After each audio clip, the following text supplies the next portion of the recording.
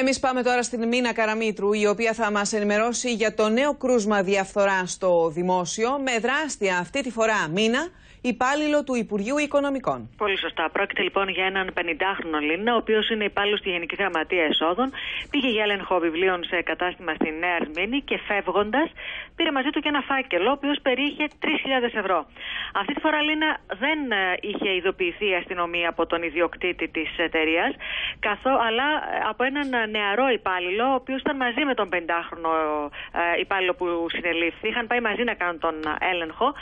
Μόνο που όταν φεύγαν διαπίστωσε ότι ο 50χρονο συνάδελφός του είχε πάρει μαζί του φεύγοντας ε, τον φάκελο που σας είπα με τα 3.000 ευρώ. Ειδοποίησε λοιπόν αμέσως τις ε, αρχές, καθώς δεν ήταν πιστικές οι εξηγήσεις που του έδινε ο 50χρονο και μόλις έφτασαν εκεί οι αστυνομικοί των ιστορικών υποθέσεων και έκαναν τον έλεγχο, διαπίστωσαν ότι πράγματι τα 3.000 ευρώ αυτά δεν θα έπρεπε να τα έχει μαζί του υπάλληλος της Γενικής Γραμματείας ε, Εσόδων. Ε, συνελήφθη όπως καταλαβαίνετε, συνελήφθη όμως και ο λογιστής της συγκεκριμένης εταιρείας, ενώ τώρα αναζητούν τον ιδιοκτήτη της εταιρείας. Μάλιστα. Σε ευχαριστούμε πολύ.